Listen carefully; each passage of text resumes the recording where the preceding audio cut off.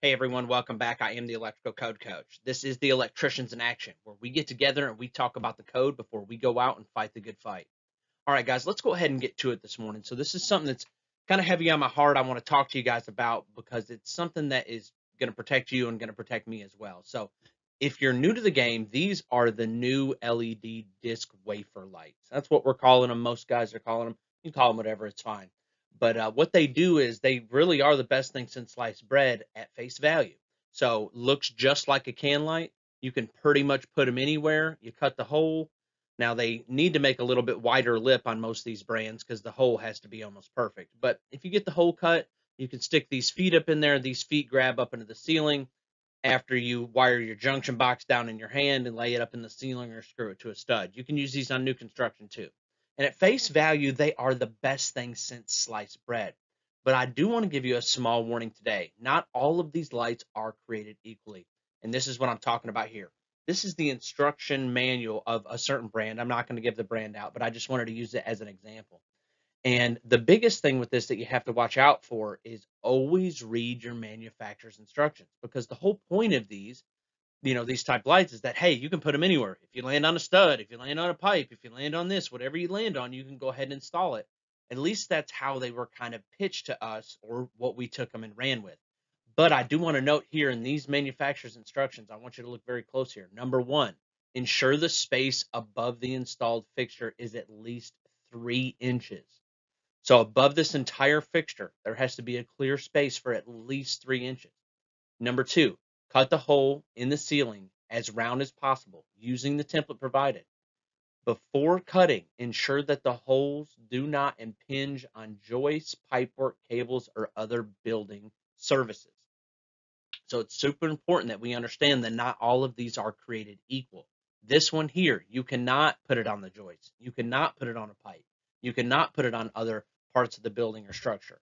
And that you must ensure that at least three inches above it is clear. And the, the question is, is that kind of defeats the entire purpose here. That the whole point of these wafer lights was that they're super thin. You can install them almost anywhere. It doesn't matter what you hit. Because the hardest part about laying out can lights on rework is that you don't know what's in the ceiling unless you can crawl above in the attic and then you're sending a little flag up and you lay out three of them and then you go to lay out three other cans and they don't they do hit on a stud. So then you're back to square one trying to lay these cans out where they'll look symmetrical the beauty of these was is it didn't matter where you landed you laid your cans out where you wanted pretty much and you were able to use them. But they're not all created equal. So just be careful. These have to have three inches of airspace above them and if i've got three inches the chances are i've got three more inches and i can just put a full cut in can structure. So just wanted you guys to be aware of this this morning. Everything that we do on this channel ultimately is to protect all of us. I don't want you guys to get caught up on this. And nowadays you run the risk of not miswiring it or it arcing or sparking. We have a lot of other technologies going on here.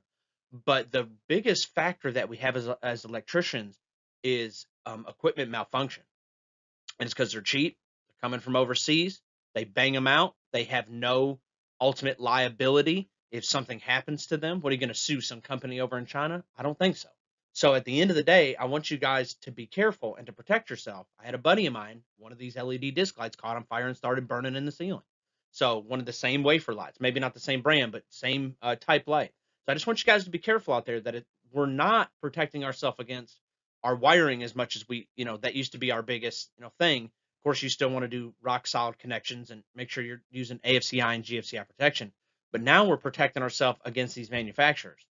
And the biggest thing here is that the th- what they would do is, you know, you know, I pray that nobody got hurt if one of these lights malfunction, but they would come out and look at the way you installed it and they would take down every other light in the room. And if they were installed incorrectly, then you know who it falls back on. So it's just one of those things that we've got to watch out for. So I am the electrical code coach, and I've dedicated my life to help you become everything that you can be in life and in the electrical industry. I want you to know that I'm praying for you today. You've got someone in your corner every day praying for you. I hope you have a great day today. And if there's anything I can do to help you in life or business, you can always email me at electricalcodecoach at gmail.com. Let's get to it.